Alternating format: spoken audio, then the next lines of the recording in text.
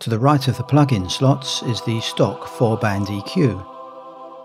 Clicking on the Edit button will open the EQ GUI.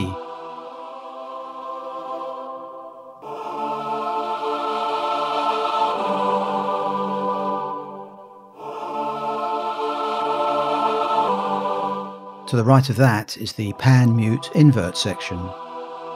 Pan uses the 0 dB pan law by default.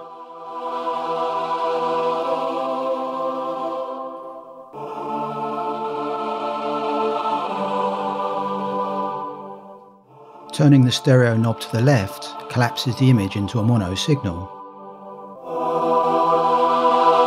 Turning it to the right gives you enhanced stereo.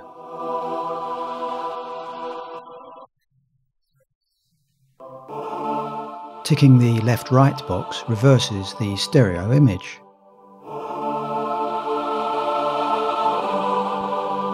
Click on Edit to access the different pan options.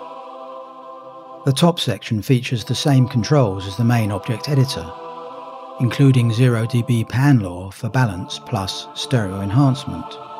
Alternatively, you can use the minus 4.5 dB pan law setting plus stereo enhancement.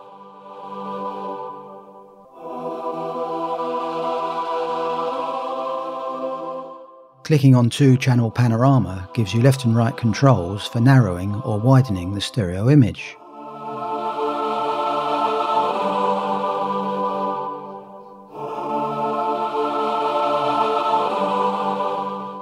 Clicking on two channel volume lets you adjust the left and right levels of a stereo signal.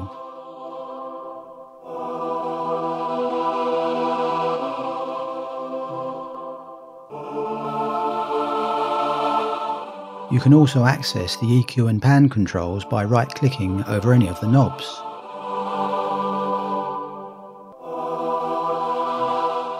Below that are invert and mute tick boxes.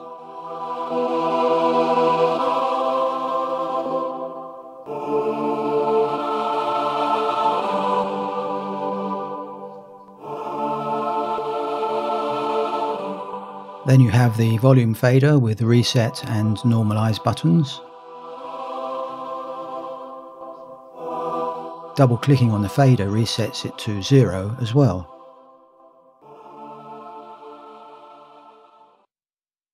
To the right of that you can change sample and background colour using the colour chooser. Below that are lock, FX bypass and freeze tick boxes. Ticking the lock checkbox locks the selected objects based on the lock object definitions. A diagonal line appears on the object to show this is activated. To access these definitions, press Y and go to the Lock Object Definitions tab. Bypass FX bypasses all enabled object effects, of course. Ticking the Freeze checkbox will freeze the currently selected object and remove all of the plugins. Here's an example. I'll add an FX chain. Now when I tick the Freeze checkbox, the entire FX chain is frozen. The object editor settings have been rendered into a new audio object. Unticking the Freeze checkbox reverses the freeze process and restores the plugin settings. Freezing includes all object editor settings except auxiliary sends. The To All button, when active, copies the settings of the first selected object to all other selected objects. I will be covering this function in greater detail in another tutorial. Below that are copy and paste icons. Use these to transfer settings from one object to another. Below that is the FX routing button, which I mentioned earlier, I showed you the play stop and play solo buttons. Object name lets you edit the name of the object, of course. If multiple objects are selected, you can give them all the same name by clicking on the To All button. I'm typing in the text box, clicking the To All button. Now the selected objects have all the same name.